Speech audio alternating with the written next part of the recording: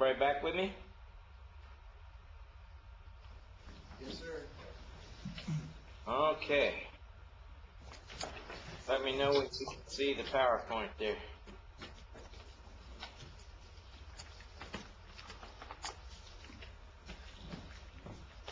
Everybody talk loud for me for just a second. Good job. Okay. Uh, the doxology in Ephesians chapter 1, you remember, begins at Ephesians 1 3, where it says, Blessed be God, or praise be to God, or thanks be to God, and it ends in 314, where it says, Unto the praise of his glory. Um, that phrase occurs several times in there. But it's a, it's a praise to God for what specifically in those 14 verses? How would you describe it using uh, the words of the text? Paul is praising God for what, Wayne Vogel?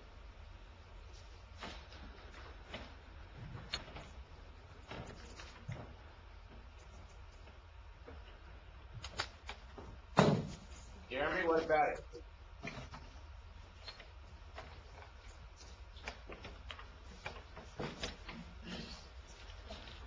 I don't know where you're at.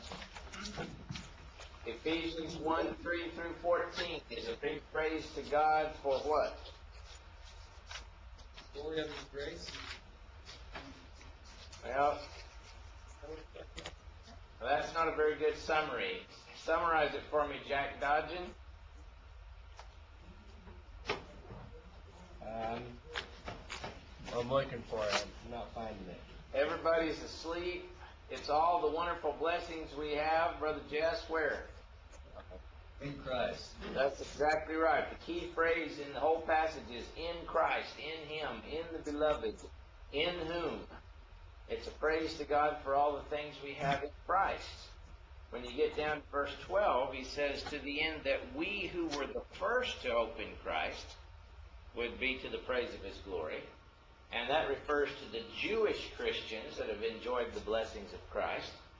And then he switches in verse 13 to you. In him you also, notice the in him, in Christ, you also, after listening to the message of truth, the gospel of your salvation, having also believed, were sealed in him with the Holy Spirit of promise. We said that in early Christian writings, that word sealed there referred to what, Brother Dustin Rocha?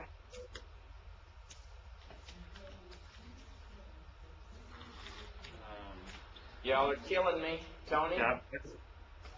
Being Bap- baptized? Baptism, that is correct. Baptism.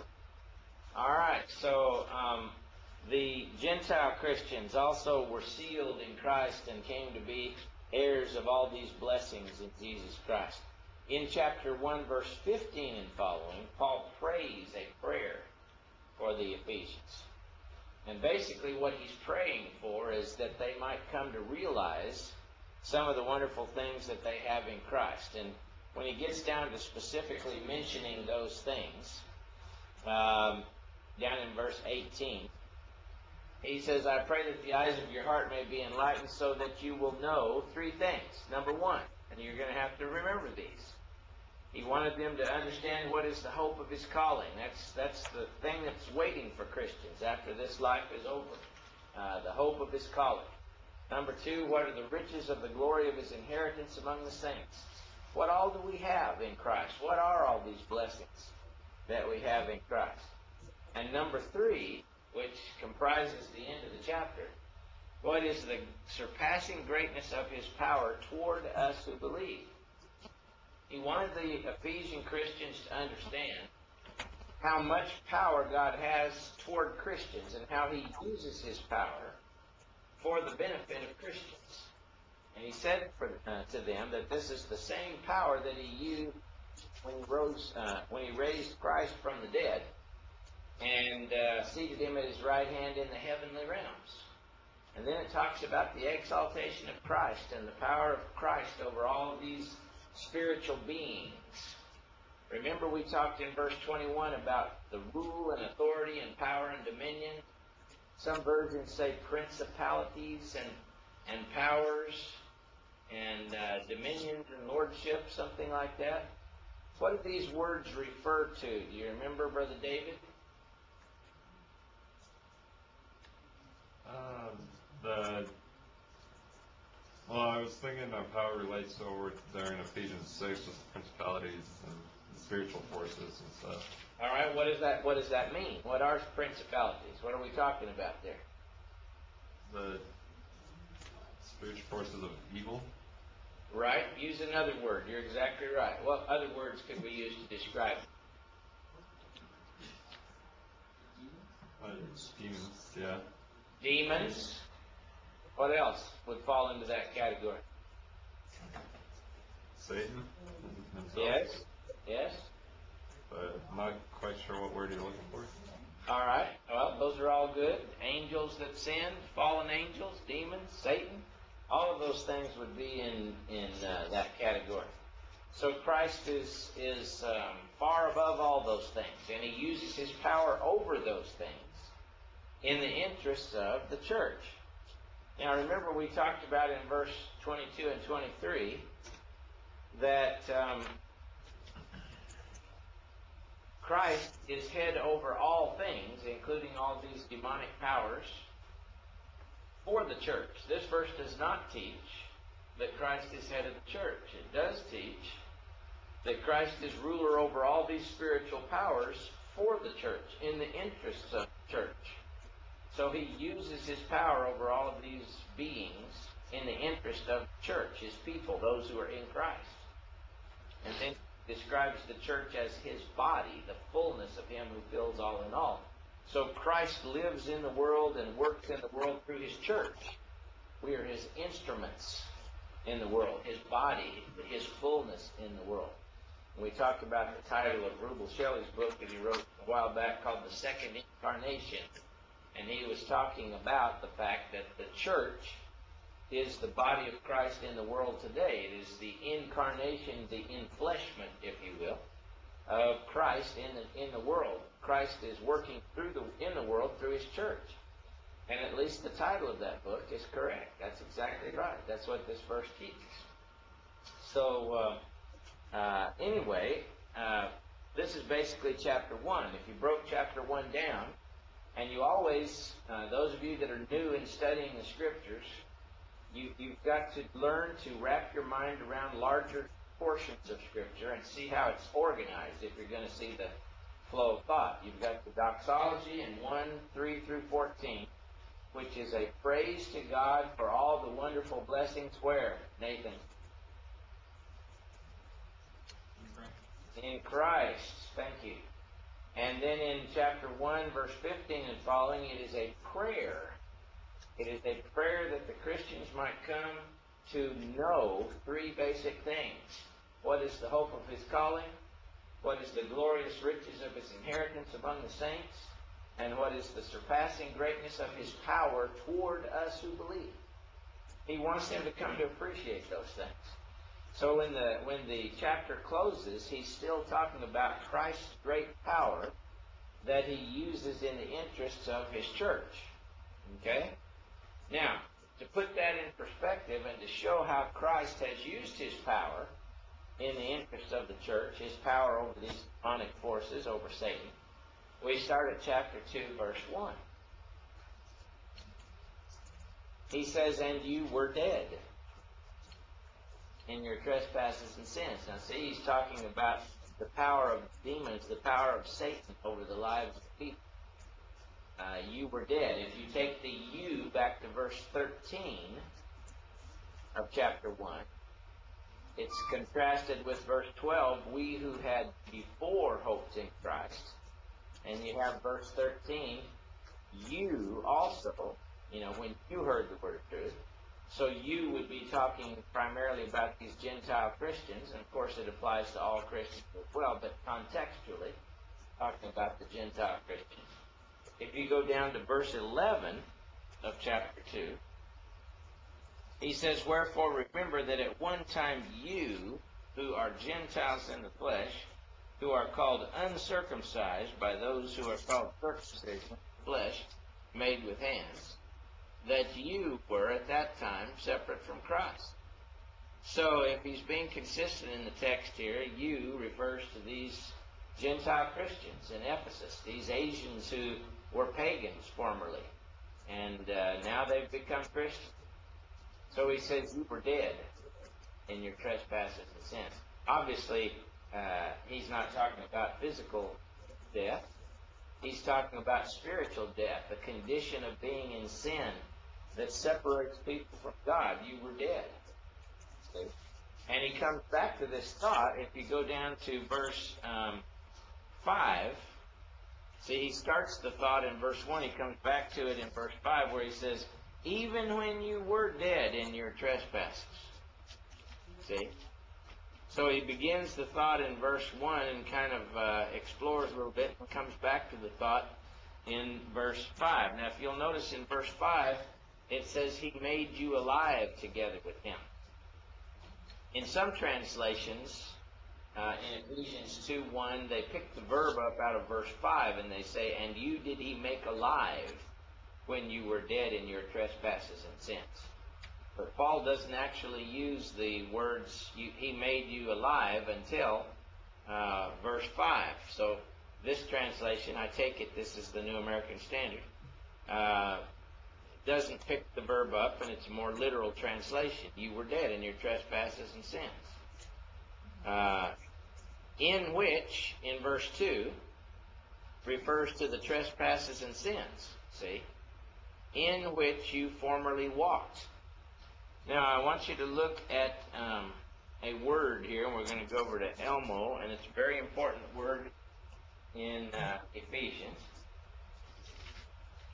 It's the word walked or lived. Is this is this the New American Standard that I had on the screen there? Yay or nay? Yay. Okay. We're going to get down here in the in the book. There's two words here I want you to see very clearly if I can focus them in. First of all, there's this little word right here that I have a box around. Pote, P-O-T-E. That's how you spell it in English letters. P-O-T-E. Pote. Everybody say it with me. Pote. Pote means at one time, formerly, once upon a time, back then. And this word is used a number of times in this text, and it's it's it's the word that is in contrast to now. See, you've got the back then, formerly, once, that's this word right here, and then you've got now. See? And and the now is the present state of being Christians. Back then is before they became Christians. See? Uh, the word uh, walked is right here. Peripatesate, uh, from the verb peripateo. Peripateo. It's spelled P-E-R-I.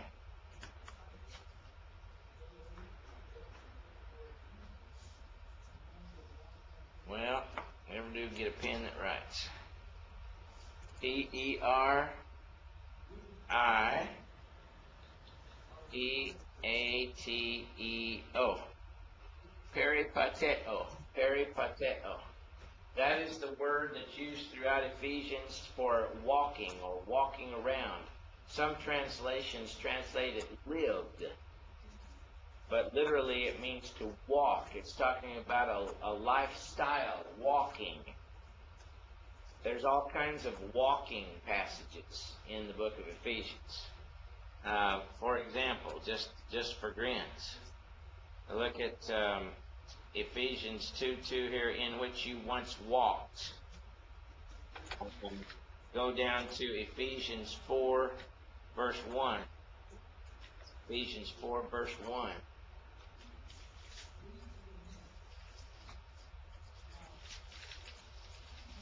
You have the verb again in Ephesians 4, verse 1.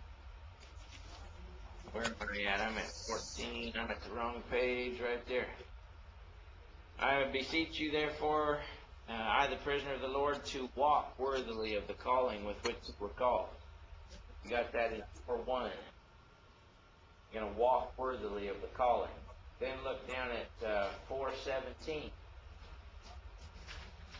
He says, This I say and testify in the Lord that you no longer walk as Gentiles walked. So in 4 1, you've got walk worthily. In 417, no longer walk as the Gentiles walked. If you're not writing these down, you're going to be hurting later. Then in Ephesians uh, chapter 5, verse 2, he says, Walk in love, just as Christ also loved you. See it? Walk in love. Then in, was it 5 8? Look therefore carefully how you walk. Be very careful how you walk. Is that 5 7 or 5 8? Five eight. Five eight. Then look down in in five. Uh, what is it? Fifteen or sixteen? Fifteen. Five fifteen. Yeah. Or five eight. He says, "Walk as children of light." Right. And then five five fifteen. Be very careful how you walk. So the five fifteen is kind of the summary of all the walking passages. So you used to walk in trespasses and sins. Two, two, one, two, two. Uh, walk worthily of your calling. Four, one. Do not walk any longer like Gentiles walked. Four, seventeen. Walk in love. Five, two. Walk as children of the light. Five, eight. Be very careful how you walk. Five, fifteen. See. So this is a theme that runs through the book of Ephesians about the way we walk or the way we live, the way we pursue a lifestyle. Very important word in the book of Ephesians. It's not important because Dan said it's important. It's important because it is important because it occurs repeatedly in the text. And if you're doing exegetical study, look for things like this that keep popping up text to uncover the emphases of the uh, uh, writer. It's like a little dot to dot thing. You connect the dots and you see the theme through the book. So there are the set of dots in the book of Ephesians. All right, so uh, come back to chapter 2 now. Let's go back to chapter 2. Go back to our other screen for a minute, but it won't be for long.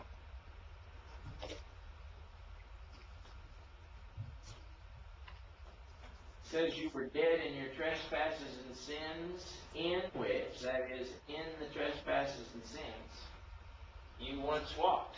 So you formerly walked. Back then you did. So you lived in trespasses and sins. And then he uses a um, an adjectival phrase to describe how you formerly walked. Now see, walked is the verb. Now see if you can write this down. Walked is the verb but according to shows how you walked, the manner in which you walked. Uh, there are phrases in Paul, like for example, over in Romans, that studying with Kenny in Romans chapter 8, verse 4, uh, that the righteous requirement of the law might be fulfilled in us who do not walk according to the flesh, but according to the Spirit. See the phrase according to the flesh? According to is an adverbial phrase. It describes how you're walking. According to the Spirit is an adverbial phrase. It describes how you're walking. See? The manner of your walking. So anytime you see according to in the Bible, you look for a verb that that phrase modifies. It tells you how that verb is being uh, carried out, how that action is being carried out. So you formerly walked according to, he describes this in three ways the course of this world, the prince of the power of the air, of the spirit that is now working in the sons of disobedience. Now, this passage, I, I don't, I do not understand uh, at all the way the translators translated this passage. Uh, and I'll show you why just a minute. Let's go back to Elmo, and we're going to talk about a word. That word translated the course of this world, the course.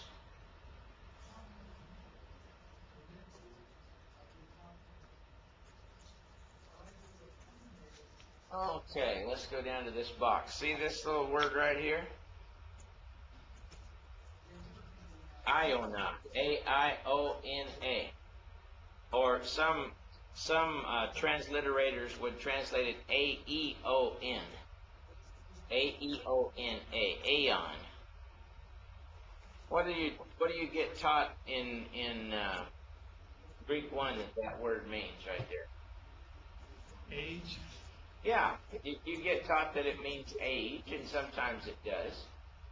But uh, this word is a word that was used in ancient um, Christian literature to refer to spiritual beings, the the beings that populated the upstairs of the universe. Um, if if we were to draw this out uh, on a little chart for you,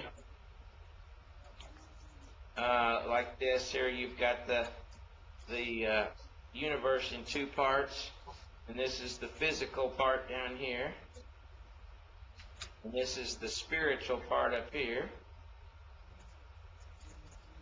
Um, the beings that populated this uh, realm up here were often called A E O N S.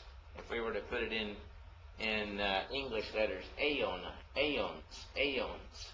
The Gnostics taught that all these spirit beings, these were aeons. And uh, if you read the early church fathers, you often find this word referring to spiritual beings. Now, let me ask you a question. In the context here in Ephesians, have we read about any spiritual beings in the context? Yes. Where, where did we read about it? Chapter 1, verse what? 21. 21. And the point there, wasn't it, that Christ had been exalted far above all those spiritual beings? And that he now uses his power over those spiritual beings in the interests of the church? See? Now, doesn't it make perfect sense in the context that back then, before you came to Christ, you were walking according to the direction of those evil powers, those evil spiritual beings? That makes pretty good sense in the context, doesn't it?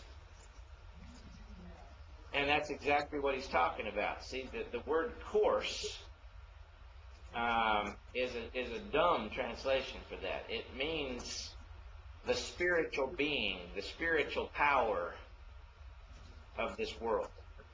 Um, he's talking about Satan, that's what he's talking about, and he's calling Satan an eon, one of these spiritual beings in the spiritual realm. So the first word that he uses there to describe Satan is A E O N, eon, or aiona of this world. A similar passage, if you were going to do doctrinal study, would be over in uh, John uh, chapter 12, verse uh, 31. Now is the judgment of this wor- world, now is the prince of this world cast out. Talking about Satan being the prince of the earth, of this world. Or 2 Corinthians 4, verse 4, where Paul calls Satan the God, little G O D, of this world. The God of this world. Uh, you could translate this word aeon as little G O D. God, like the gods. See, that would be the idea here. These spiritual beings that populate the upstairs of the universe. Uh, so, when we talk about the eon, the aiona of this world, right there, that's what we're talking about. We're talking about Satan. So, how were you walking? How were you living? According to Ephesians 2, verse 2. You were living according to, I would translate it, the God or the spiritual power of this world. In other words, the worldly spiritual power, the, the, the little G-O-D of darkness, Satan. You were walking according to Satan, see? And he goes on to explain uh, who this being is in the next little phrase. Uh, let's go in a little bit further so you can see a little bit more. Who's had Greek one that can pronounce this word for me right here that I got my pen on? Ponto? No. You're close. Arkansas. Archonta. Now, see, it's because it's uh, accusative that it's there. But archon, see, archonta, archon. We talked about this A R C H O N T A.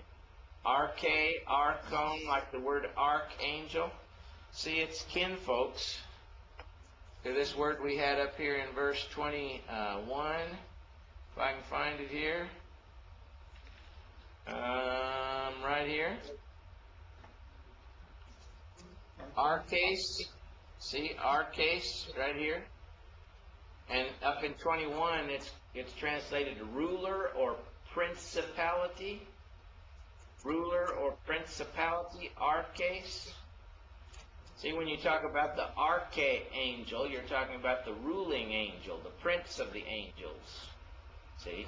So the Old Test, the old uh, translations, like the Old American Standard, King James, translate this word principality, principality, and they translate the one down in verse two here. Uh, this word here, they translated the prince of the powers of the air. See, principality, prince, prince means ruler. See. So who is this eon of the world? Well, he's the ruler of the powers of the air.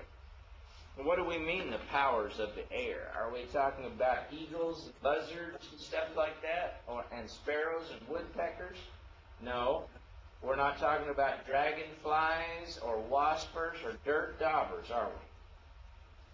We're talking about the spirit powers, the spirit beings uh, that exist up there that we talked about in verse 21. See? So we were walking according to. See this little phrase, this little according to word, kata, right here?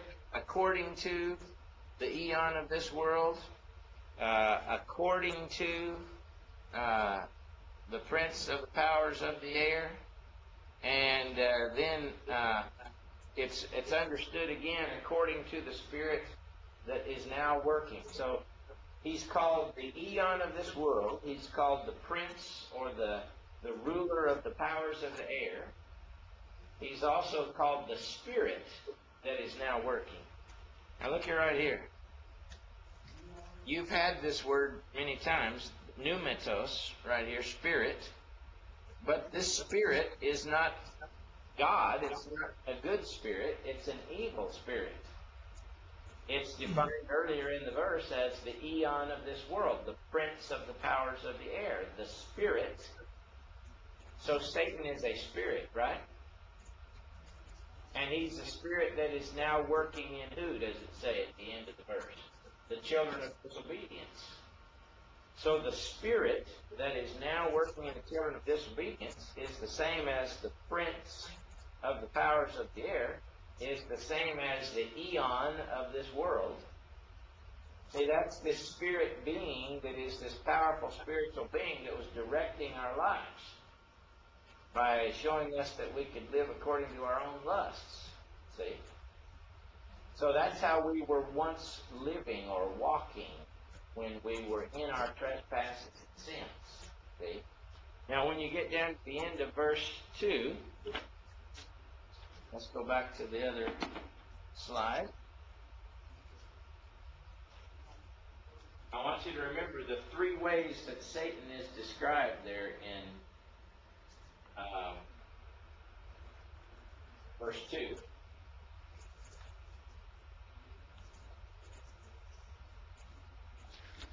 What word did we see that where it says the course of this world? What word did we say that is, Brother Jess? Do you remember? Eon. Uh huh. A E O N. And what is the meaning of that word in context? Little G O D. Yeah, it's a spiritual being of some sort. That's right. And uh, it's it's similar to what Paul says in 2 Corinthians 4 4 when he calls Satan the God of this world or in, in John 12 where he's called the prince of this world. But uh, it's talking about a spiritual power. I want you to remember that.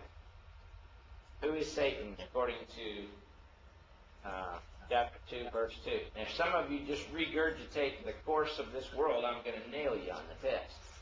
Because I didn't stop and explain it to you for you to just regurgitate something that's not right, okay? So, um, listen carefully. All right, so now he says the spirit that is now working in the sons of disobedience. The question is, what spirit is now working in us? See, are we still controlled and moved by the spirit that now works in the children of disobedience? Is that the manner in which we're walking? He says you formerly once walked that way. Um, the, the next verse. Um, he says among them or among whom and see that refers back to the children of disobedience at the end of verse 2 so among the children of disobedience we too all formerly lived uh, that word formerly again or once is the little word pote again you've got it in verse 2 you know you once lived according to the the eon of this world You've got it again in verse 3. You once lived among the children of disobedience. See? And once lived in the lusts of our flesh, he says, indulging the desires of the flesh and of the mind, and were by nature children of wrath, even as the rest. So back then, once, formerly, before you became Christians, you lived according to Satan's direction, and you lived among the children of disobedience, and you lived in the lust of the flesh. Now, see, there's a sermon in there somewhere, I think. How did you used to live according to Satan among the children of disobedience in the lust of the flesh? That describes the way people go about life. The word lust doesn't necessarily convey sexual desire. We use the word today in a sexual connotation. But epithumeo or epithumia in the original language just means want or desire. So you can lust for food, like these peanut butter crackers right here at a certain time of the day, I would lust for them. Uh, you can lust for money. You can lust for power and prestige. You can lust for nice clothes. You can lust for a new car, a new pair of shoes. You can lust for another man's wife. See? But you can lust for all kinds of different things. It just means want. Over at uh, Galatians 5, verse uh, 16. Excuse me, Galatians 5, verse 17. Galatians 5, 17. He says, For the Spirit lusts against the flesh, and the flesh lusts against the Spirit. These two are contrary to one another so that you may not do things that you want to do. So the spirit lusts just like the flesh lusts. What does that mean? It means the spirit wants certain things. That is, it wants good things. The flesh lusts for harmful things sometimes, and both of them want.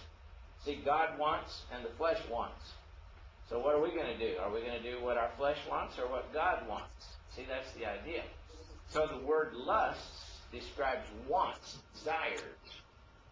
We lived in the lust of the flesh, following the desires of the flesh and of the mind. Notice he doesn't just say the desires of the flesh, but the desires of the mind.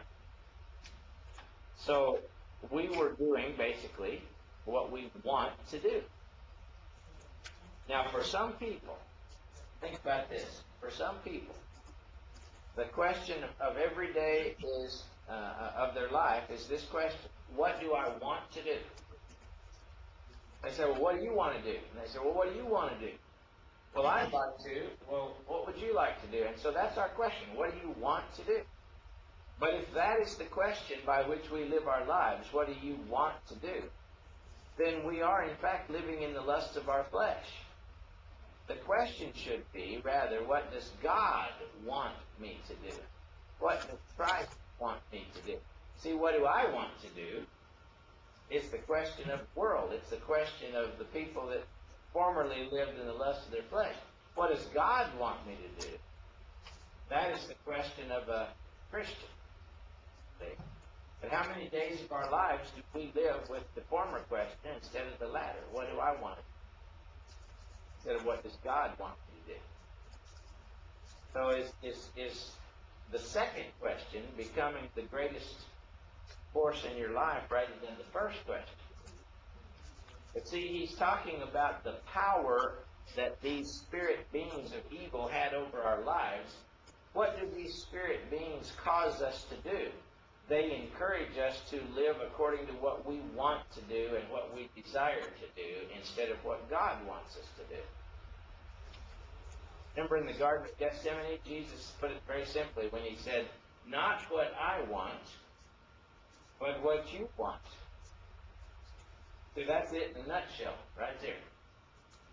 And most people simply live doing what they want to do. Now, some of the things we want to do are fairly harmless.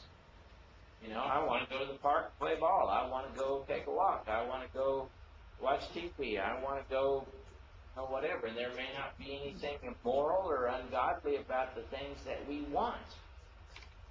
But if all we do is what we want to do, chances are we will not accomplish what God wants us to do. And there will be times when we will be led to do stuff that uh, God doesn't want us to do. Uh, I can't help remembering the Robin Williams movie, uh, and the line I thought was so funny. He was trying to um, mock President Clinton, but uh, he, he's, he's standing up there behind the podium. It's about some politician, and he said, I did not sleep with that woman. I wanted to, but I didn't, you know. Well, when he says, I wanted to, that's exactly right. See? You want to do something, but you don't do what you want to do. You do what God wants you to do. See, that's the idea. That's the idea here. So in Ephesians 3 3, talking about how we formerly lived, we formerly lived among the children of disobedience and we lived in the desires of our flesh. We simply did what we wanted to do, and that describes the non Christian lifestyle.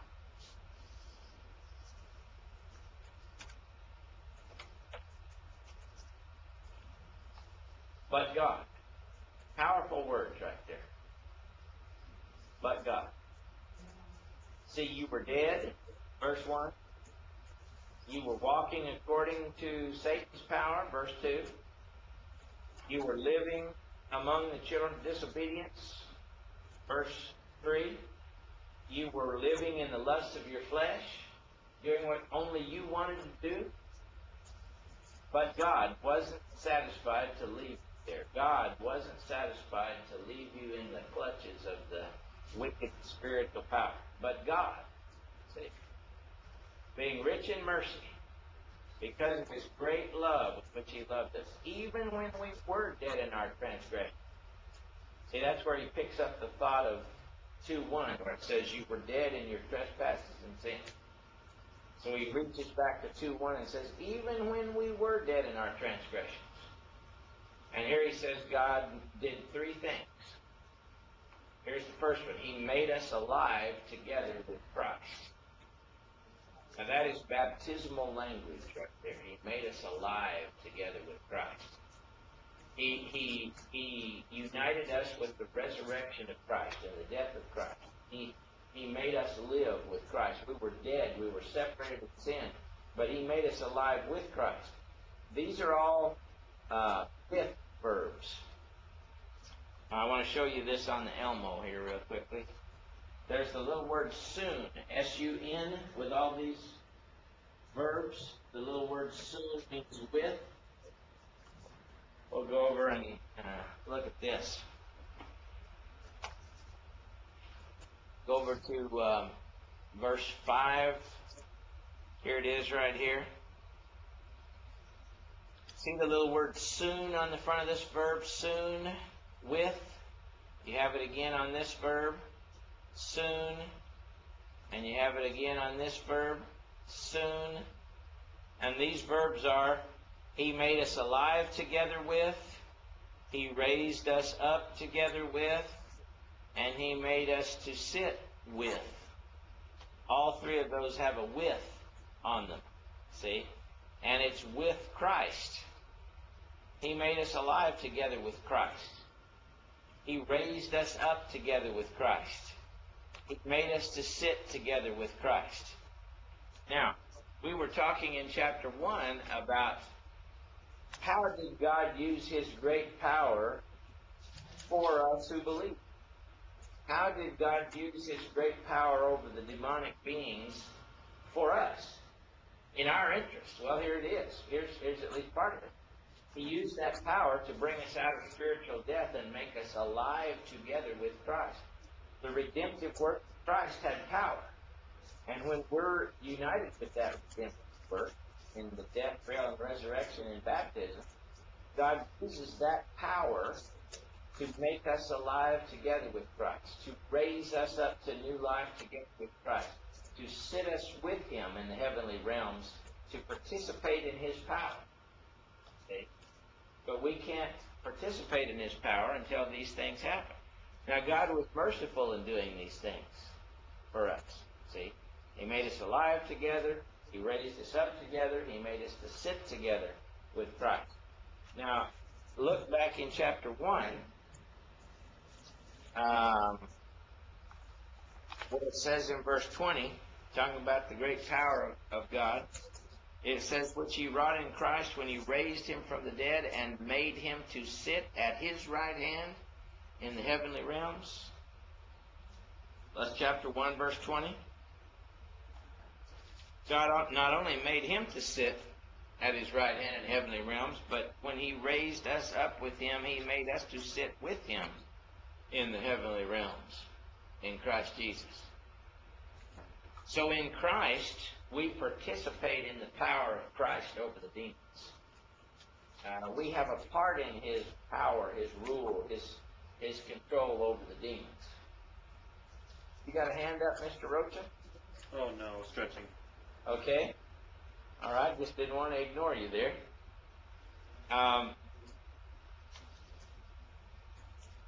what are the three things that God did for us when we were dead in sin, when we were living according to Satan and among the children of disobedience and living in our own lust? What did God do for us? He made us alive together with Christ. He raised us up together with Christ and he made us to sit together with Christ in the heavenly realm. All right? So, this is the work of God in behalf of Christians. At least, perspective of Ephesians.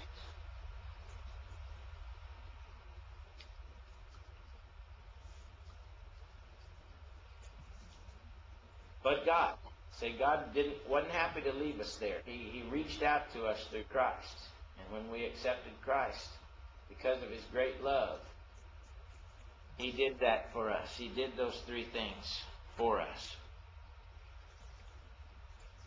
Then he says, By grace have you been saved. Which of course means because of God's mercy, not because you're good enough.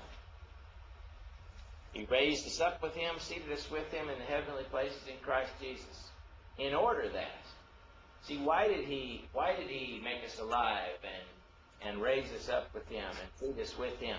In order that in the ages to come he might show the surpassing riches of his grace in kindness toward us in Christ Jesus. Now that he has united us with Christ and made us to participate in the power and the work of Christ, he can show his grace to us who are in Christ. He can be forgiving and gracious and kind to us in Christ.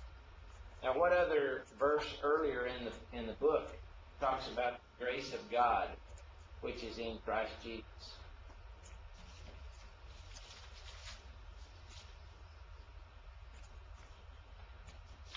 The praise and the glory of His grace, which He freely bestowed upon us in the Beloved. Chapter 1, verse 6. Yes, chapter 1, verse 6. That's exactly right. So if you're doing exegetical study, you can't help but connect chapter 1, verse 6 to this verse here. See? The grace toward us in Christ Jesus, the grace which He freely bestowed upon us in the beloved. Who are those that are in the beloved? They're those who have been made alive together with Him and raised up with Him and made to sit with Him at His right hand in the heavenly realms. Again, in Paul, that is baptismal language. Say, how do you know that's baptismal language? Well, compare chapter, uh, compare Colossians 2, 12 and 13. Somebody flip over to Colossians 2, 12 and 13 and see if Paul uses similar language over there. Colossians 2, 12 and 13. Jeremy, you awake now? Yes, sir. Read it for us. 12 through 14. 12 and 13. 13. Having been buried with him in baptism, in which you were also raised up with him through faith in the working of God, raised him from the dead. When you were dead in your transgressions and the uncircumcision of your flesh, he made you alive together with him, having forgiven us all our transgressions. All right. What phrases in that do you see also in the book of Ephesians? Uh, well, dead in your transgressions. Yes, that's in Ephesians 2 1 and in Ephesians 2 5. Okay, what else do you see similar there? Um, the idea of the uncircumcision. I think we saw that in Yeah, but I'm talking about the in baptismal language. What else do you see there? uh, I made you alive together with him. Yeah, just like you have in chapter 2, verse 6. What else? Anybody? Raised up with him. Yes, raised up with him, and he's using those with verbs, isn't he? Using those with verbs. Look over at Romans 6, 3 and 4. Those of you that are in the Triller's Romans, all of you are. Romans 6, 3 and 4. Brother Jess, what does that one say? Do you not know that all of us who have been baptized into Christ Jesus have been baptized into his death? Therefore, we have been buried with him through baptism into death, Keep going. So that as Christ was raised from the dead to the glory of the Father, so we too might walk in newness of life. All right. Keep going a little bit. For if we become united with him in the likeness of his death, certainly we shall also be in the likeness of his resurrection. All right, go down to verse 7 and 8. Knowing this, that our old self was crucified with him, in order that our body of sin might be done away with, so that we would no longer be slaves to sin. For he who has died is freed from sin. Now, if we have died with Christ, we believe that we shall also live with him. All right, do you see any with verbs in all that? And you've got the same idea of, of buried with, raised with. So when Paul uses this language over in Ephesians, you're tempted to say, well, he uses that same language in baptismal settings in other verses, in other books. It may well be, and probably is, that he's talking about baptismal things here, but it's not just baptism. He's talking about participating in the redemptive work of Christ, his death and resurrection, which we do when we're buried with him, when we're raised with him, when we're made to sit with him. Um, and that's how we are united with Christ, when we do these things with Christ. See? So, um, when we do these things, then God can show His grace toward us in Christ Jesus. Because it's in Christ Jesus where all these uh, blessings are and where all these blessings can be found. All right? So he says, For by grace have you been saved through faith, and that not of yourselves, it is the gift of God. So it's it's it's through the kindness of God. It's through the the grace of God. It's through trusting in the redemptive work of Christ. It's a gift from God. In the book of Romans, righteousness is a gift from God. Romans 5:17. Uh, the free gift of God is eternal life in Christ Jesus our Lord. Uh, Romans 6:23 is it? Wages of sin is death, but the free gift of God is eternal life in Christ Jesus our Lord. So it's the gift of God. It's not as a result of works that no one should boast. What's Paul's point in the context of Ephesians? This is the power of God working in the behalf of those in Christ. It's God's power over these demonic forces that has done this for you. It's not your own power. It's not your own goodness. It's not your own ability. God has used his power, the same power he used in raising up Christ, in behalf of those who were dead in sin. What has he done with his power? Well, he's saved us. He's made us alive. He's raised us up with him. He's made us to sit with him. He's given us his grace. in Christ Jesus. This is the way that God has employed His power, and it's a gracious gift. We didn't do it for ourselves. God did it for us. For we are His workmanship. In other words, once we're in Christ, we are the creatures of, of God. We've been remade. We've been reborn by God. We've been created in Christ Jesus. Notice that in Christ Jesus.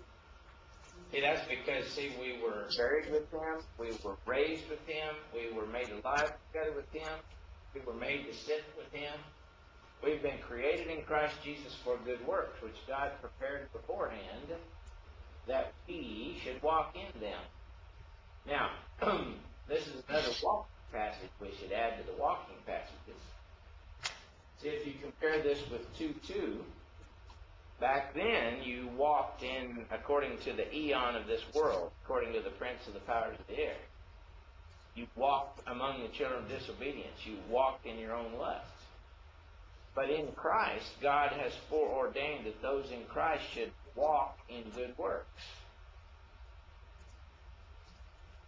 Now, this is sort of like chapter 1, verse 4, where he, he uh, chose us in Him before the foundation of the world that we, those in Christ, should be holy and blameless before Him in love. So it's God's preordained plan that those in Christ should live a lifestyle of good things, good works, good deeds.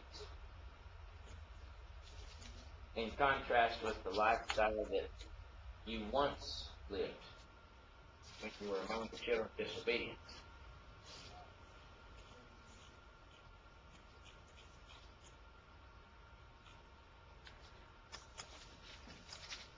So if I were to write down passages in Ephesians,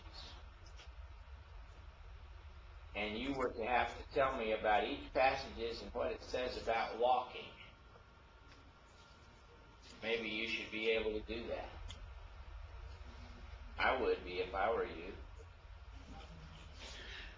Able to do that, and then you'll get a really good grade, maybe, on the test that you're going to have. But more than that, you know, really, honestly, truly, I could care absolutely less about any grade you ever make.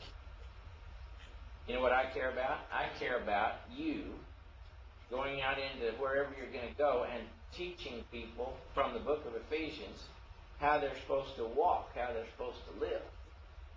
And doing it from these texts. Now, if I can help you learn that by giving you a test over it, then that's great. But I could care less about your grade, could care less about your test. I'm trying to help make preachers of the gospel that can teach the Bible to people. Okay? And if you learn the themes of Scripture that you can show people, that's powerful. It's teaching them in their life. So every, everything I give you on a test, I don't give it just to give a test. I give it because it's important. What I'm saying in the question is important in some way to your being able to teach the text, to teach the scriptures. All right, in verse 11, you've again got this word uh, formerly or once. Uh, it's a little word uh, pote. So you've got it in verse 2, you've got it in verse 3, and you've got it again in verse 11. Uh, let me show you in, in the Greek text, and so you'll see it. You'll at least see the recurring word there.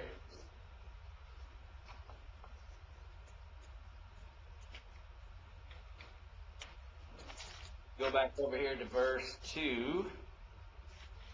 Where are we at? See, here's here it is in verse 2, where he says, In which you once or formerly walked. Uh, verse 3, in which we all once lived. There it is again.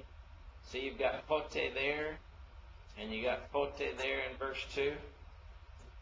And then you've got it over here in verse 11. Remember that once, formerly. Uh, down in verse 13, you've got it again. You who once were far away, formerly were far away, pote, pote, all over the place here.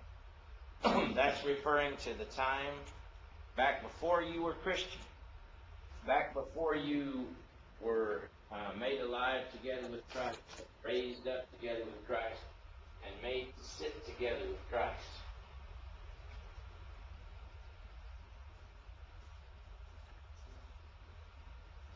All right, so remember that formerly you. See, I, I might ask you, uh, tell me all the things that were true about you once from Ephesians 2 1 through 13. You started, well, we once walked according to the eon of this world. We once lived among the children of disobedience. Uh, we were once called Gentiles in the flesh. We were once far away. That's marching right down through the text, telling those things that were true once. See what I'm talking about there, Brother Jess? Mm-hmm. You do, don't you? Am I making it up, or is it, is it for, for sure in the text? It's there. It's there. See, that's that's what I want you to be able to say. It's there. Nobody can argue with it if it's there. See, that's that's what you want to be able to preach. What's there? If it really is there and it's demonstrably there, you can just show it's there. Then that's that. I mean, that's it. That's as authoritative as you can get. So, uh, formerly, you Gentiles in the flesh who are called uncircumcised by the so-called circumcision, which is performed in the flesh by hands. See, there's our little word there. That's the first part of verse 11. Wherefore, remember that once you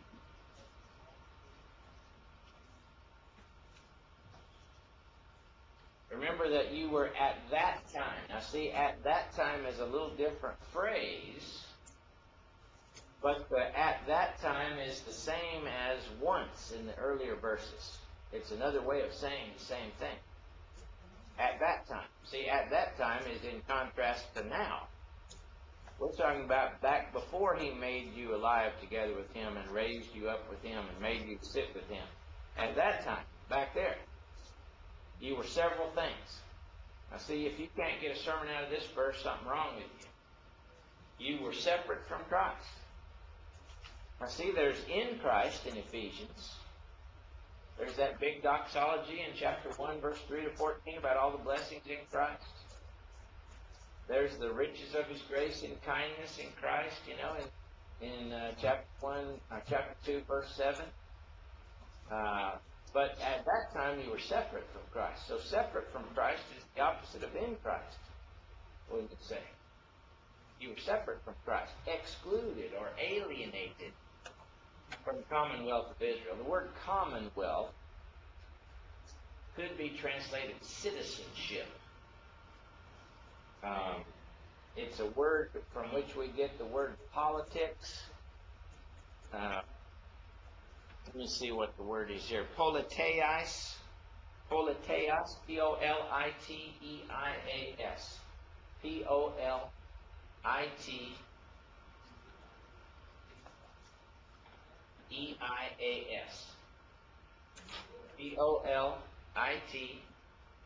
P O L I T E I A S. P O L I T E I A S. That's the word translated commonwealth.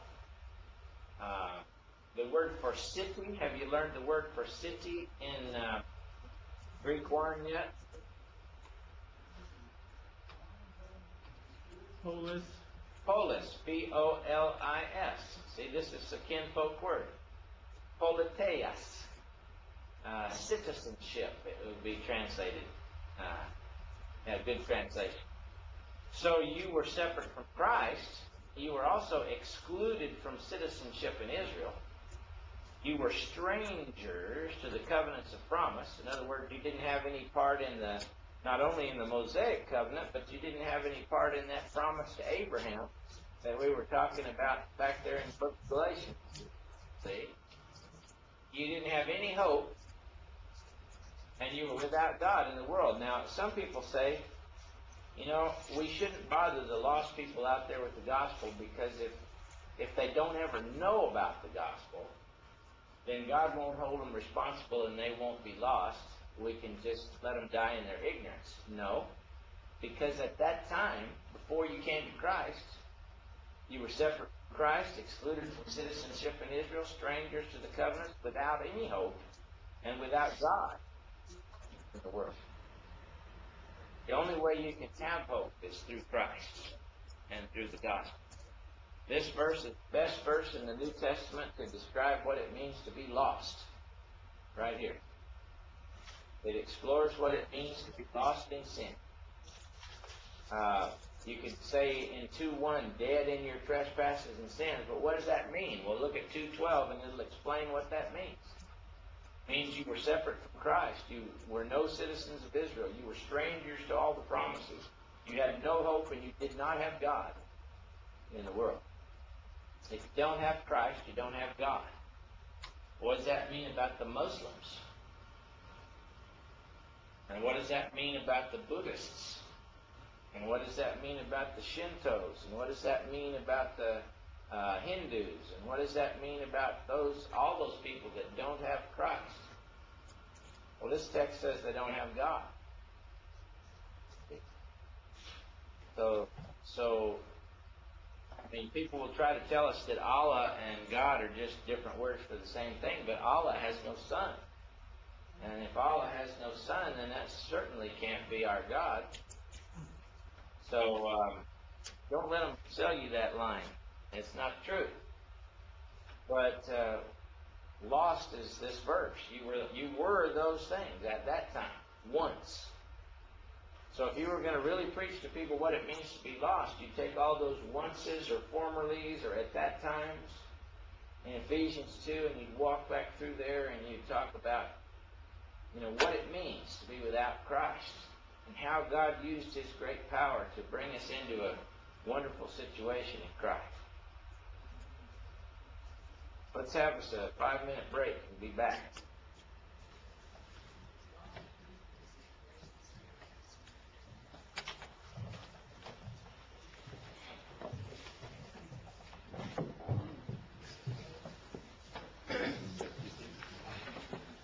Have you set it up yet? I haven't. I was waiting for you.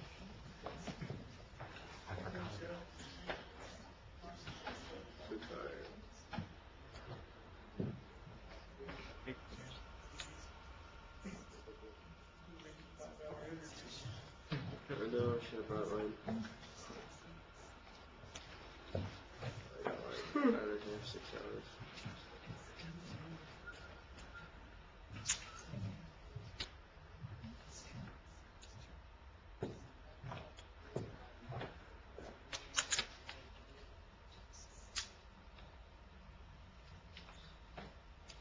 Good morning. Well, how about yourself?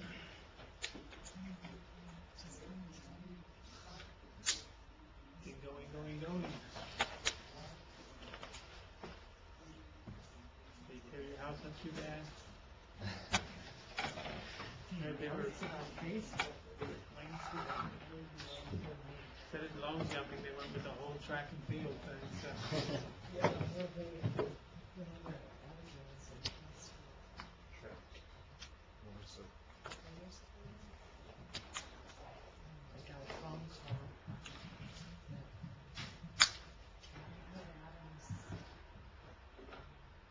Insurance card number. Oh, yeah, yeah, he broke his arm.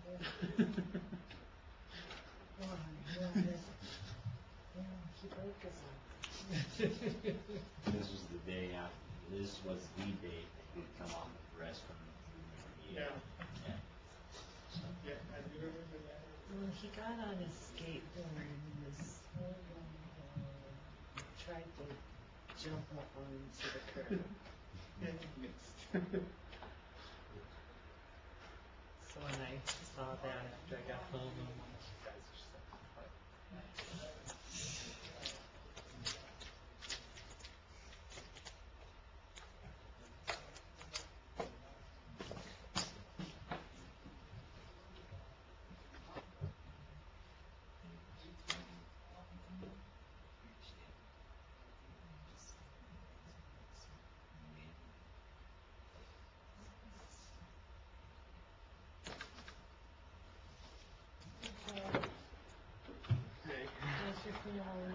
Good.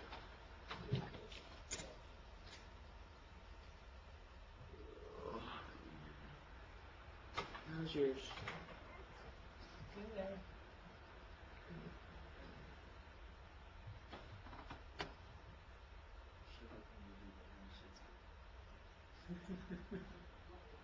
They added in. That raised it up when you were ABC.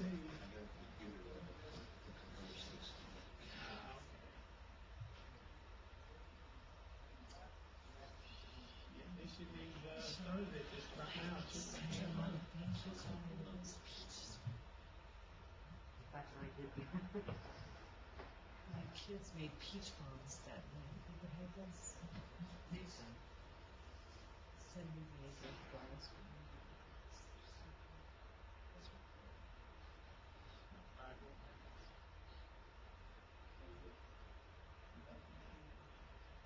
You guys are bully NASCAR, Track is ready. So boring. You can't watch games. Hmm? You can't watch games. What do you mean? Hi,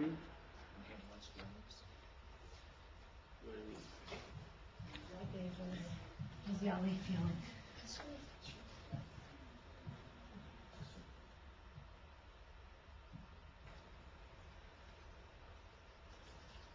I'm kind of curious, does the start of a NASCAR race even matter, or does it often win the last lap? Well, if you wreck on the first lap, I guess. Well, uh, yeah, And that has been known to happen. I was listening to IndyCar, but I mean, that would stink. That's the fun part for me, is like the strategy and everything that gets involved with it. Oh, I think you should scat that water. Go around. A little more like. Yeah, that's true. It's a little more than that. that steering wheel, so they take care of the back of your car and you sit on sideways. Same time, walk the tag. Well, good.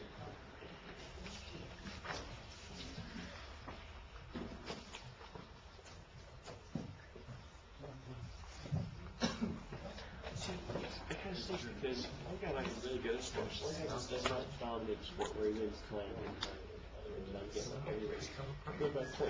Second one time. He took fifth one time. He took first one time. So I'll go by. You don't. You never have a guy wins. Every time I look at it's well. You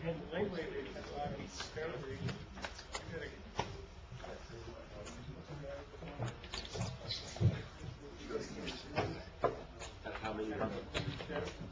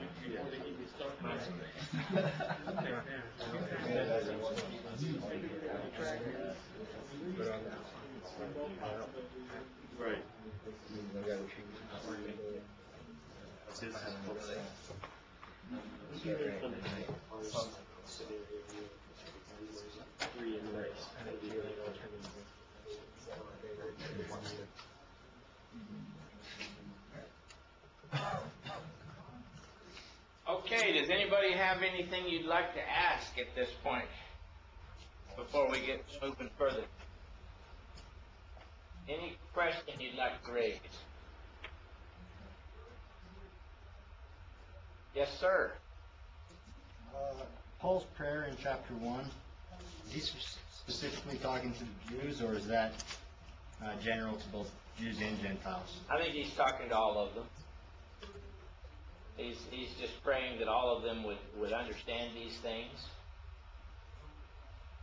That's a good question based on, you're talking about based on the difference between 1, 12, and 13. Hmm.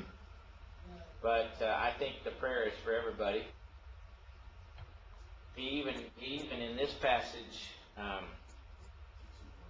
let's see here, it's a warns, isn't it? Yes, sir. Alex? hmm Okay, I'm, I'm getting everybody straight here. If you go back, And he switches, he switches to we at verse three. I, I was thinking the other way, that he was referring to those Gentiles before they had Christ at verse one, since he switches to we in verse three. yeah, that's that's what I was going to point out is that in this in this text he switches back to the we sometimes, and uh, I think when he does that he's talking about ev- all of Christians. Then he goes to us in verse four, and that's where I thought he was talking about all Christians. Uh, I, that's verse seven. Yeah, verse seven, verse six is is where I'm looking at too. Here, you making the same good point. He raised us up with him, seated us with him, in order that in the ages to come he might show the surpassing, riches of his grace and kindness toward us. So he does go back and forth some in here, and the us sometimes is inclusive. Now, how do you know when he's making a separation between the us and the we uh, to really stick? Well, when he specifies it, like he does in 113 and 12, and in 111 and 12, see, he specifies who he's talking about. So at least in those cases, you know he's talking to two different groups of people. But yes, sometimes he he, he goes back in and talks about all Christians. That's a good question and good reason for the question. Good study. Who else has a question you'd like to bring up?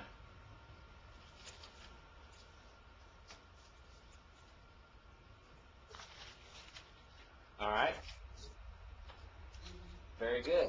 So, after having talked about uh, how lost they were and what it means to be lost,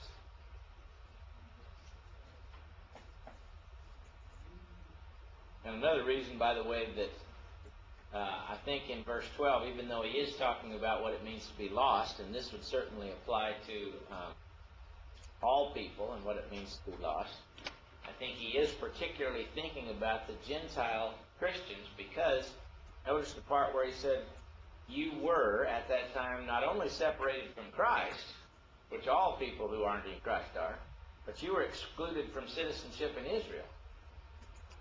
See, so he's, he's talking to people who not only were not Christians, they were not Israelites.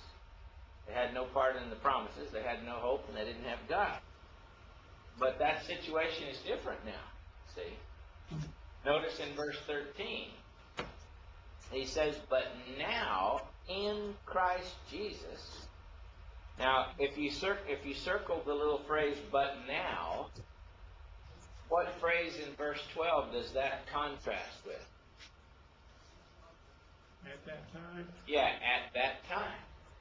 And back in verse 11, what phrase is the same as at that time? Formerly, Yeah, formerly or once. And then if you go all the way back with the once or formerly, so he's obviously talking about before they became Christians. But he says, but now in Christ Jesus, see, and in Christ Jesus in verse 13 is the opposite of what phrase in verse 12. Separate from Christ? Yes, separate from Christ. So now, in Christ Jesus, you who formerly were far off have been brought near. See, back then you were far off. Now you're near. How were you brought near? By the blood of Christ. See? Now, when you when you look at that, you who formerly were far off, go down to verse 17. He came and preached peace to you who were far off, and peace to us that were near, for them that were near. So them that were far off and them that were near, he's obviously talking about the Jews and the Gentiles, or the Gentiles and the Jews. And I'll show you that in this passage as well. But both Gentile and Jew were lost without Christ. See, everybody was separate from Christ, but not everybody was excluded from citizenship in Israel. So you're right to, to question those things, but he is he is dealing with two different groups of lost people. We can, we can kind of see that they have commonalities in that they were all lost, but there are differences between the two as well. And verse 14 makes that quite clear because he says, uh, For he is our peace, who made both groups. What two groups? Well, verse 11 tells you what two groups, doesn't it? He himself is our peace, who made both groups into one. See, we are one group now. We're all in Christ. We are the body of Christ. We are the church. But we used to be two groups. We used to be two people. Who made peace between Jew and Gentile? Christ did. He is our peace, who made both groups into one and broke down the barrier of the dividing wall. Um, the um, difference between Jew and Gentile was the law, the barrier, the dividing wall. He calls this he calls the law of Moses three different things in this text. He says Christ broke it down, but uh, he calls it the dividing wall, number one. Uh, I think the uh, some of the older translations translate it the middle wall of petition. Then he calls it the enmity in verse 15, the enmity, meaning that which made Jew and Gentile enemies, that which made them different from each other. So in verse 14 it's called the dividing wall. In verse 15 it's called the enmity. And then he just flat out calls it even the law of commandments contained in ordinances. So he broke down or abolished the dividing wall, the enmity, the law. Who did it divide between? It divided between Jew and Gentiles. It treated them differently. It made the two groups. But Jesus destroyed that. He broke that down. He, he abolished that. So this is one of the great passages in the New Testament that talks about the abolition of the law of Moses. What's the purpose here? In making peace between Jew and Gentile, Christ broke down that which separated the two of them. He, he, he got rid of the thing that made them different. And remember, to whom was the law given? Only to the Israelites, right? It wasn't given to the rest of the world. It separated them out as a different people. But the law was broken down. It's called three things. Remember this. It's called the dividing wall, the enmity, and the law. Those three different things. He, he broke it down and abolished it. Why? Look at the that phrase in verse 15. So that in himself, and in himself is just like in Christ, see, he might make the two into one new man. Now, if you look at the two in verse 15, that's the same as both groups in verse 14. See? Why did he break down this dividing wall, this enmity, this law? So that he might create in himself of the two one new man, thus establishing peace. This one new man is a Christian. See? So Jew and Gentile have, have been brought together. They have been reconciled to each other in Christ. It's in Christ that they are one new man, a Christian. That's all they are. See? Thus establishing peace. Notice the peace at the end of verse 15 and the peace in verse 14 is the peace between Jew and Gentile. He himself is our peace who made both groups into one. How did Jesus make peace between Jew and Gentile? By destroying the dividing wall, the law, by, by removing the law. Okay, so number one, he made peace between Jew and Gentile. This is uh, verses 14 and 15. How'd he do it? By breaking down or removing the wall, the law. But also, it says, that he might reconcile both of them. Now, the both still, see, if you go back to verse 14, both groups, that's talking about Jew and Gentile, it's the same as the two of them in verse 15.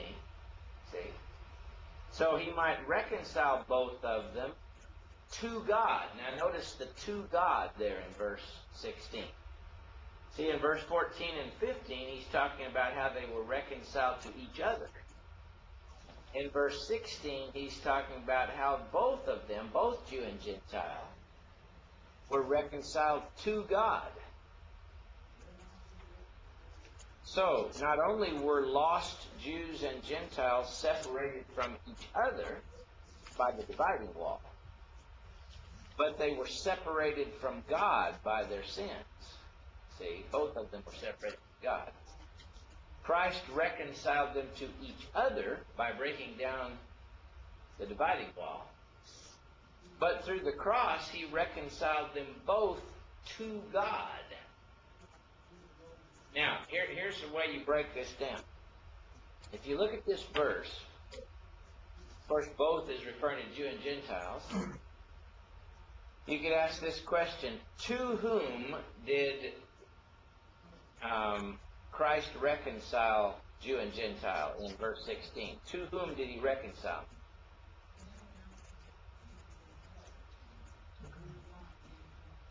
Anybody live over there? To God? To God. Talk to me.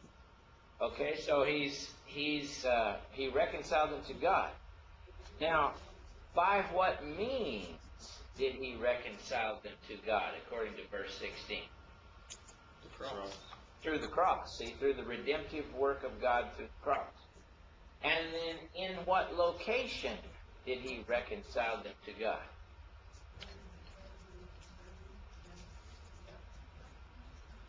In one body? in one body. And if you go back to chapter 1, verse 23, that one body is his church. So in the church, in the one body of Christ, not only are Jews and Gentiles reconciled to each other and made one new man, but in Christ, in the church, in the body of Christ, they are reconciled to God. So everyone that is brought back together with God is brought back to God in one body or in the church. So it's absolutely part of God's plan. The church is not an afterthought. The church is part and parcel with the plan of salvation. Everybody that's brought to God is brought into the church. Can't be reconciled to God without being in one body in the church. And how, how is it that we're reconciled? It's through the cross. It's when we're united with the death and resurrection of Christ that uh, we are brought back together with God in the church. And then he says, and by it, having put to death the enmity. Now, he, he does talk of the law as the enmity in verse 15. But it seems to me that in verse 15, he's talking about the enmity between Jew and Gentile. And in verse 16, he's talking about the enmity between God and man. And it was sin that was the enmity between God and man. So verse 16 is about how, how lost humanity and God are reconciled. Verse 14 and 15 is how Jew and Gentile were reconciled. But who is it that made peace between Jew and Gentile? And peace between man and God. Christ. See? And it was it was that uh, work of Christ which accomplished all this peace. So then he, he summarizes about peace, see, in verse 17, and he came and preached peace to you who are far away, and peace to those that were near. For through him we both have our access in one spirit unto the Father. Now see, if you are going to do exegetical work there, see I've got peace underlined it in red. Go back to verse 14. He is our peace, who made both one. Go to the end of verse 15, so that he might create in himself of the two one new man, so making what? Talk to me. Peace. Peace, correct. And he came to preach peace. Now, Christ preached peace between blank and blank and peace between blank and blank. Speak. Those who are far away and those who are near. Yes. But if you go back in the context, who are we talking about? Jews and Gentiles? Yes. Verse 14 and 15, it was peace between Jews and Gentiles. Verse 16, it was peace between who? God and man? Yes, God and man. Now, if you looked at that um, phrase, you who were far away, what verse would you go back to for the same phrase? 13? Verse 13. But now in Christ Jesus, you who once were far away have been brought near. But those who are near, obviously, are talking about the Jews here. Then he says, For through him we both. Can you find that word both up there earlier? 14? Verse 14. He is our peace who made both one. And then where else can you find both? 16? Verse 16, that he might reconcile both of them. And even though it doesn't say both, in verse 15, what words are the same as both? Two. The two of them. That's right. That's right. So you see how you trace these phrases through and you get your dots that you connect through this passage. There's no neater explanation of Christianity in the entire Bible than Ephesians chapter 2.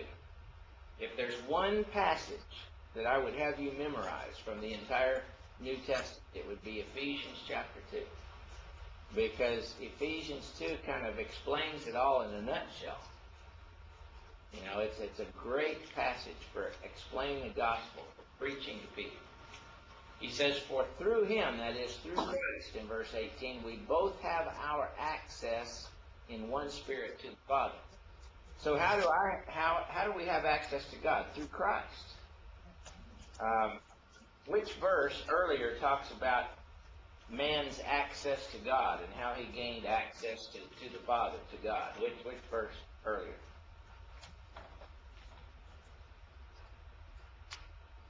Uses different words, but it talks about our access to God.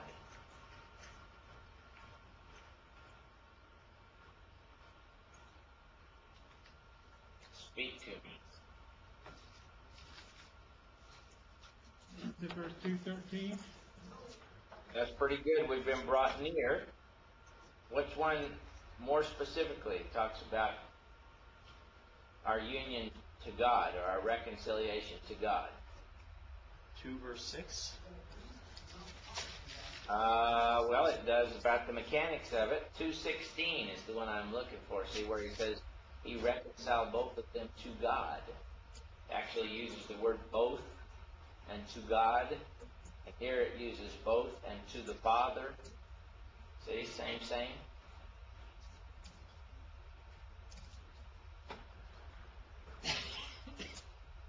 Now, see, having access to the Father is very different than verse 12 that says you were without God. So this is a then and now passage. What was true then? What is true now? What happened between then and now? Who made peace? Who reconciled us? How was it done? All right? This passage is great for preaching the necessity of the church, the, the abolition of the law, uh, the redemptive work of Christ on the cross. It's, it just explains everything. Now, the opposite of verse 19 is verse 12. Verse 12. Um, in verse uh, 19, um, I'm going to show you a couple of. Uh, I'm going to go back to the Elmo here to show you the relationship because it doesn't come across nearly as plainly in the English text.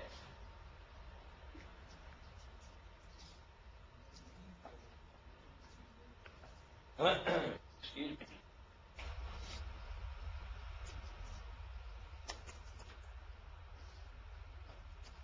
All right. Let's see here. You see this word right here?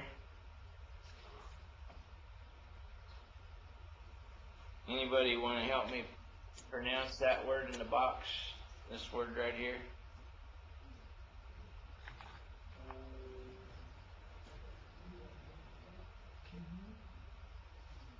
Help me?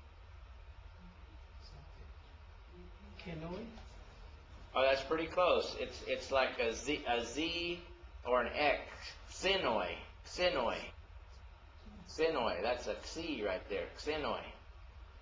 Or Xenoi. Uh, have you ever heard the word xenophobia? It means fear of strangers. It comes from this word right here. This word means strangers. And in verse 12 it says strangers of the covenants of the promise or from the covenants of promise. But in verse 19, down here, see, he says, You are no longer strangers. So you were strangers in verse 12, but you're no longer strangers in verse 19. Now, back up earlier in verse 12, I told you that um, that um, that one word there that was translated commonwealth. This word right here. Some some somebody take a crack at this word right here. Louder, please. Polytheus. Yeah, politeus or politeus. And that's kin to what other word did we say? Polis for city. Right. This is the word that means citizenship. See? Politeus, citizenship. So you were um, excluded from politeus in Israel. You were excluded from citizenship in Israel. But now, over here in verse 19, see, he uses the same word with a with a sum on the front of it. See if you take the S-U-M off the front of this word, see what you've got there? Politai. So now you're fellow citizens. See, you you were not citizens in Israel. Now you're fellow citizens. So you used to be strangers, you're not strangers anymore. You didn't used to be citizens, now you're fellow citizens with the saints. See, you're citizens in the kingdom of Christ. You're fellow citizens with the saints. So clearly, verse 12 and verse 19 in the original uh, text are opposites. See, now that you've come into Christ, you're no longer strangers and sojourners. You are fellow citizens with the saints and of the household of God.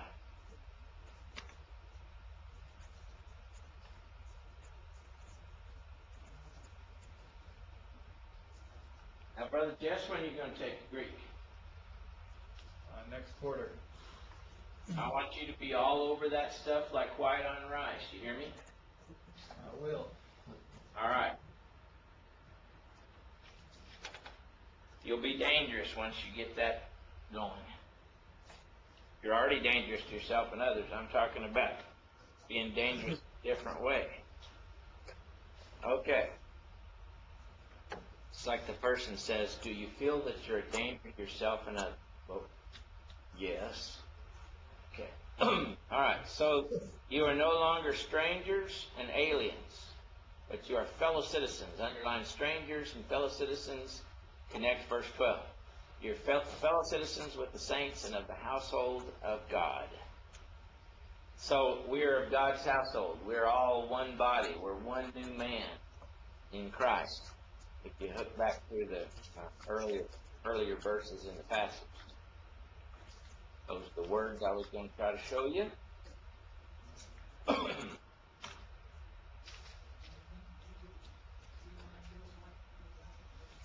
All right? These people that are now in Christ, that are of the household of God, have been built upon the foundation of the apostles and prophets. Now, in in the book of uh, Ephesians, he mentions apostles and prophets uh, two or three times.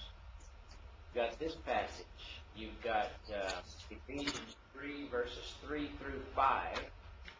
Write down Ephesians 3, 3 through 5.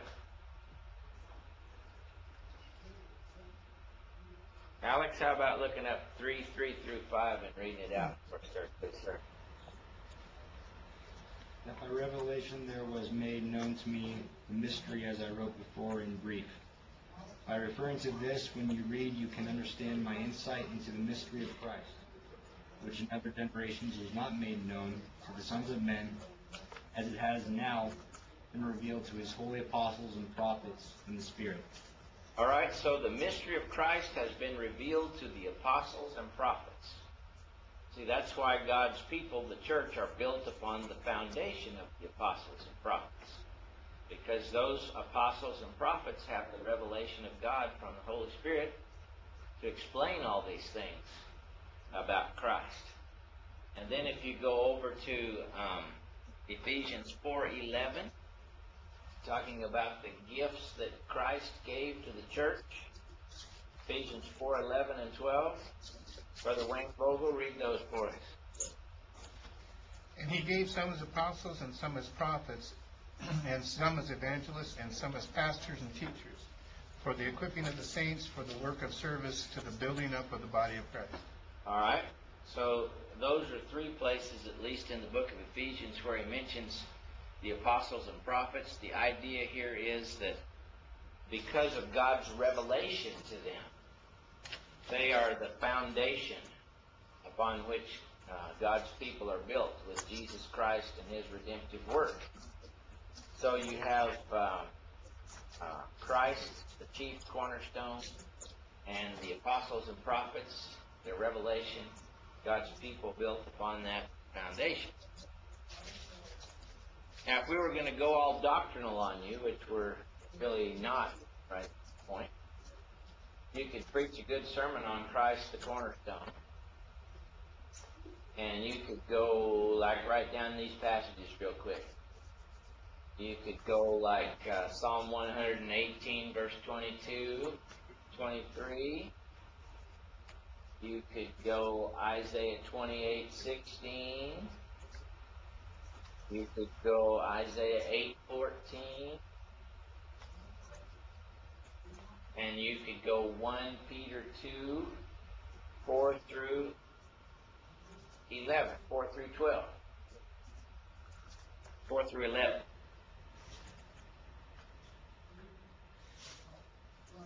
You could get a good doctrinal sermon out of that, but it's not really in the text here. It's, it's just assumed here. The, the cornerstone was not the nice decorative thing.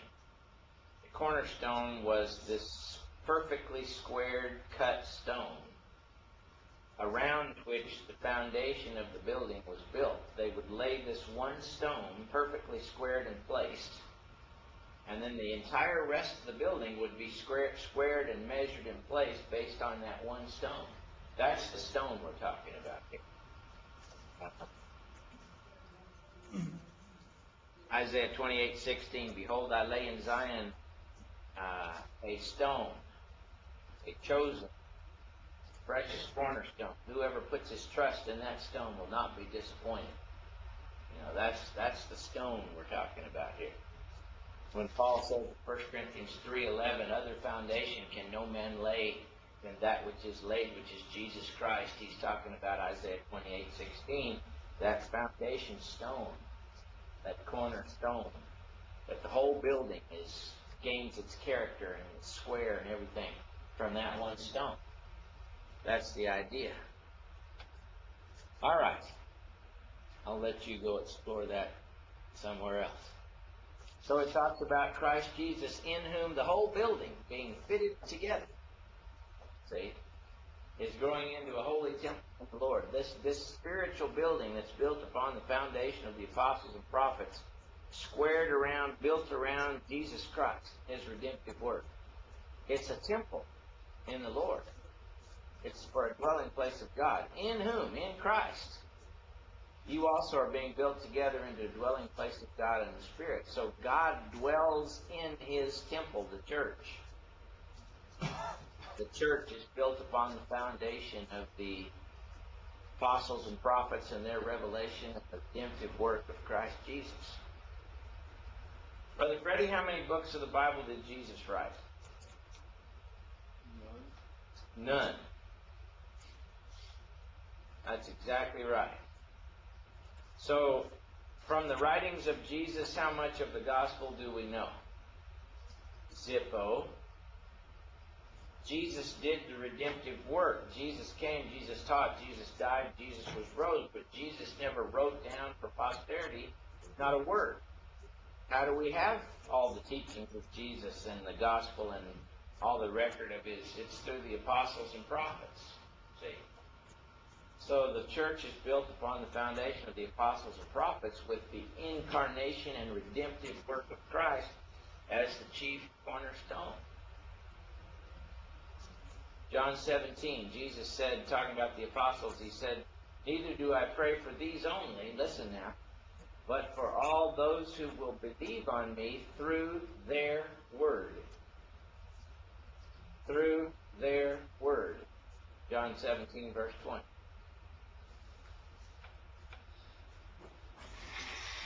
In John 13, 20. He's talking about the apostles, and he says, Whoever receives the one whom I send, namely an apostle, receives me. And whoever receives me receives the one who sent me. So basically, that is God sent Christ, Christ sent the apostles. So you accept the apostles, you accept Christ. You accept Christ, you accept God. Bada bing, bada boom. That's it. Right there. Nutshell. All right? So, he says, In whom you also are being built together into a dwelling of God in the Spirit. So how does the Holy Spirit live? He lives in, in His church.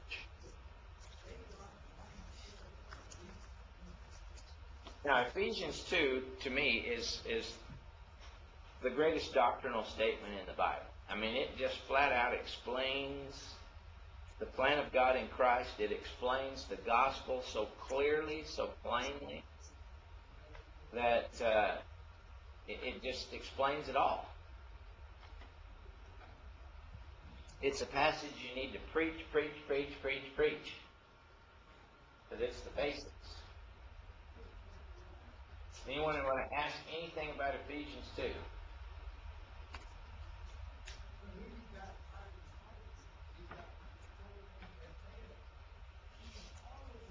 Okay, I'm taking that as a no. Um, what could you tell me about um, Satan from Ephesians 2? Raise your hand if you can tell me one thing about him. The prince Yep. of the of the air. Okay, he's the prince over the powers of the air, whatever that means, all right? Uh, Roberts, Jeremy? He's a spirit. He's a spirit, isn't he? Who else is a spirit? God. God is. Who else is spirits? All rational beings. Yeah? How about Hebrews 1.14? Angels are spirits too, aren't they? So we're all spirits. Spirit means our essential nature is spiritual, not fleshly. So a spirit is an individual being, you know. So Satan is a spirit. What was that word that was translated course in, in the translations? What was that original word there? Anybody remember? Aeon. Eon. And what does that word mean? Like little G-O-D, or it could be, you could express it other ways too, like what? Like the definition we're given, age is, is also another translation, but Which makes no sense at all in this context, does it? yeah, it'd be course in this context. Of course, makes no sense either. What about spiritual forces or spiritual beings, isn't it? Yep, spiritual being. Um, this, this is, see, there's no text as old as context. If a translation makes no sense in the context, it can't be the right translation. This context is all about spiritual beings. And so he is talking about uh, a spirit being of some kind, or a little G-O-D. now let me make this point again. The Bible teaches that there are gods, little g o d s. Now, what does it mean by that? It means spirit beings that people worship. The Bible does not say that the gods do not exist. The Bible does say that the gods, plural, are not creator. They are not omniscient, omnipotent, omnipresent. They do not qualify as God in the sense that our God does. They are spiritual beings, they are powerful, and people do worship them. But they are not the creator. See? That's what the Bible teaches. Modern day secularized Christians teach that the gods, the spiritual beings, don't exist. That's not true. That's not biblical. They do exist. They're just not the creator. They're not God. Okay, they're not the Almighty. They're not the Most High. They're not the creator of heaven and earth. So, Satan is one of those. Philistines used to worship him and call him ba- Baalzebul or Baalzebub. Jim, Yes. with all these spiritual beings that exist, is it safe to assume that God actually did in fact create these, and these were the ones that rebelled against God? I think so because Colossians 1:16 says by him were all things created. Things in the heavens and things on earth, things visible and things invisible. Whether thrones or dominions or principalities or powers, all things were made by him and for him, and he's before all things, and in him all things exist. So it's not just safe to assume that that uh, he created everything. The Bible flat out says he created those spirit beings. And then it says that they sinned against him. 2 Peter 2 4. They rebelled against him. So, um, the upstairs universe had its rebellion just like the downstairs universe has its rebellion. Somebody else? It's nice to know y'all are alive. Talk to me some more. Yes, sir. Way back there in the back. Uh, hey Dan, um, talking about the spiritual beings, uh, Uh-huh. the Bible talking about how the sons of God took the beautiful women and Yes. had children with them. I mean, yes. is it uh, so that that's the true statement, right? I think, yeah, I think it is. I think that's talking about the fallen angels that came down among uh, men. Last time I, I asked the question about uh, uh, how the Chinese um, got the Chinese characters, uh, which are connected with the Bible. Um well, actually, according to the story, so they're the children from uh, angels and uh, human and women. So that actually agreed to what the Genesis talked about. Interesting. Very interesting. Um, that's a that's a subject that I'm sure you've covered in Genesis, and I don't know how you covered it, but you probably um, looked at passages like 2 Peter 2 4 and Jude 5 and 6, uh, and um, Book of Job, and the intertestamental Jewish literature, which you probably ignored, but which would have helped you a whole lot in that. The book of First Enoch, the book of the Testaments of the Twelve Patriarchs. Um, the Jewish people uh, believe very strongly in that, and uh, Paul seems to have because in talking about why women should wear modest clothing in worship in 1 Corinthians uh, chapter 11 he says they ought to have the veil on their head because of the angels. He says.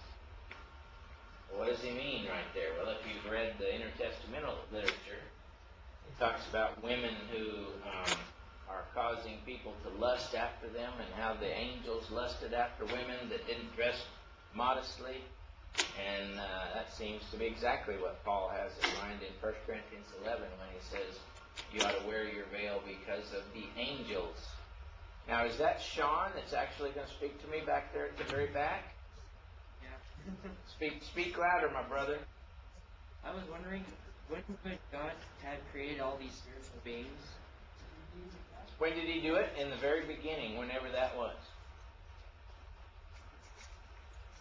Now, see, in, in my view, Genesis 1 covers the creation of the physical universe. Genesis 1 does not necessarily cover the creation of the spirit beings that may have been, happened before Genesis 1. See?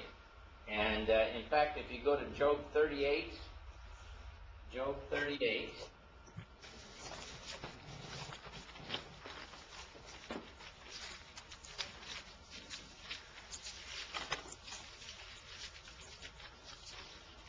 Now, what kind of a discussion are we having right now? Doctrinal. Doctrinal, as opposed to? Exegetical. That's correct, and that's okay for a couple minutes. Now go to Job 38 and uh, read 4 through 7 there, Brother Sean, nice and loudly and clearly where we hear you over the microphone. Okay. Where were you when I laid the foundation of the earth? Tell me if you have understanding. Who set its measurements since you know, or who stretched the line on it? On what were its bases sunk, or who laid its cornerstone? When the morning stars sang together, and all the sons of God shouted for joy. All right, so when God was just laying the foundations of the earth, who was there with him? The sons of God, verse 7. And those sons of God are mentioned in Genesis 6. See? But they were already there with God when He was creating the heavens and the earth. And if you go back to Job chapter 1 and Job chapter 2, it says, On the day when the sons of God came to present themselves to the Lord, Satan was among them. So Satan is among those sons of God. The reason they're sons of God, Brother David, is because God created them in the first place before they rebelled against Him. There's a Hebrew phrase, B'nai Ha Elohim. B'nai Ha Elohim. It's only used four times in the Bible or so. Two of them, one or two of them are Genesis 6, and the others are in Job. That's the only time it's ever used. And in all of its occurrences, it has references, I think, to the angels, the fallen angels, some of the other angels before they fell. maybe.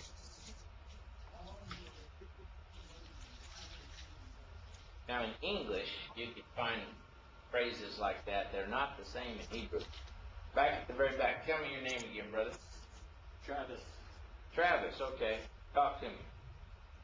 In what other places would the Greek word aiona be translated as the Greek little god?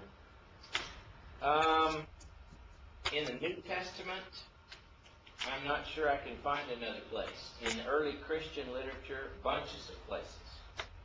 Okay. Uh, and again, this is this is a matter of when a translator translates a word. It doesn't matter what word it is. There is one thing over all other things that determines the meaning of a word. Guess what that is? Context. Context. That's exactly right. And how does a dictionary get the possible meanings of a word? Well, what it does is it looks through ancient literature and it finds that word and it looks at the context and it sees what that particular writer means by that word. And that's where it gets the possible meanings of the word. See? So, uh, anywho, very good questions. I like it when you ask questions. See you after chapel.